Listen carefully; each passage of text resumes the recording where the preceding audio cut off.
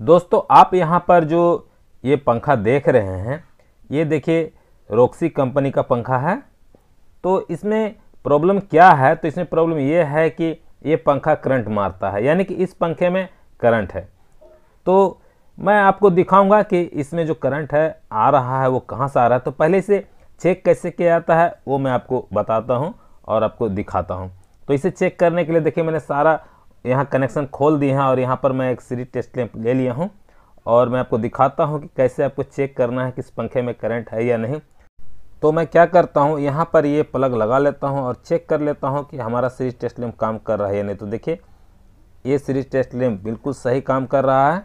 अब आप यहाँ पर देखिए, ये चार वायर जो ये देख रहे हैं, इसमें से किसी एक वायर में आपको इन दोनों वायर में से किसी एक वायर को टच करना है। तो देखिए, मैं यहाँ पर एक वायर को टच करता हूँ और इसके बॉडी में चेक करना है तो देखिए आपको कहाँ पर, यहाँ पर टच नहीं करना है, क्योंकि यहाँ पर पेंट लगा हुआ रहता है, आपको यहाँ पर टच करना है दूसरे वायर को सीरीज़ टेस्ट लैंप का जो दूसरा वायर है। अगर यहाँ पर टच करने के बाद ये बल्ब जल जाता है तो समझ लीजिए कि पंखे में करंट है। देखिए ये चार वायर में से किसी एक वायर में भी टच करते हैं और यहाँ पर टच करते हैं इन दोनों वायर को, और ये सीरीज़ टेस्टिंग का बल्ब जल जाता है तो आपके पंखे में करंट कहलाएगा। देखिए, मैं यहाँ पर टच करता हूँ और यहाँ पर टच करता हूँ। तो देखिए, ये सीरीज़ टेस्ट जलने लगा है। देखिए, एक वायर को यहाँ पर टच करना है, दूसरे वायर को यहाँ पर टच करना है। तो ये बल्ब देखिए, जलता है। देखिए, ये बल्ब पूरी रोशनी के साथ जल रहा है। इसका मतलब इसमें पूरा का पूरा करंट है। देखिए, मैं आपको दिखाता हूँ। देखिए, ये बल्ब पूरी रोशनी के साथ जल रहा है। अब इसमें टच करता हूँ तो देखिए क्या होता है। इसमें भी पूरी रोशनी के साथ ये बल्ब जल रहा है। अब इसमें टच करता हूँ तो देखिए, इसमें बल्ब नहीं जल रहा। है अब मैं इसमें टच करता हूँ तो देखिए, ये बल्ब जल रहा है, लेकिन थोड़ा डीम जल रहा है। देखिए, ये चारों वायर में से किसी एक वायर में भी आप टच करते हैं इस तरह से, और ये बल्ब जल जाता है।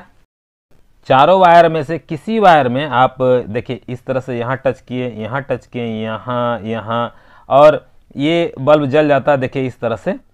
अगर इसमें नहीं जलता तो इसको देखते, देखिए, इसमें भी अगर मान लेते हैं नहीं जलता तो इसमें देखते अगर इसमें भी नहीं जलता, मान लेते हैं सिर्फ़ इसमें जलता। देखिए, इस तरह से जल रहा है।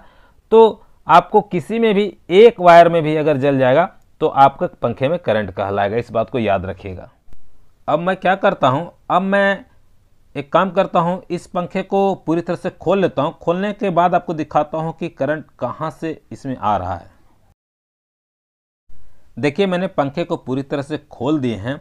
अब मैं आपको दिखाता हूँ कि इस पंखे में प्रॉब्लम कहाँ से यानी कि इसमें जो करंट आ रहा है, वो कहाँ से आ रहा है।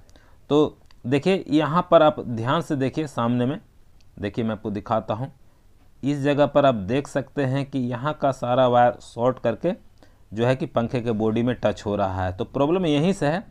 तो मैं क्या करता हूँ, यहाँ का जो ये चारों वायर है, इन चारों वायर को काट कर यहाँ से निकाल दूँगा। यहाँ से चारों वायर को काट कर निकालने के बाद यहाँ पर मैं नया चार वायर अलग से जोड़ दूँगा तो हमारा काम हो जाएगा। देखिए, मैं इसे यहाँ पर इस तरह से काट रहा हूँ।